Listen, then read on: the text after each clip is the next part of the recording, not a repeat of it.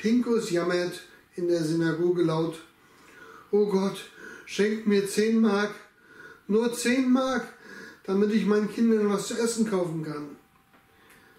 Da greift ein reicher Jude neben ihm in die Tasche und sagt, hier hast du zehn Mark, lenk ihn mir nicht ab.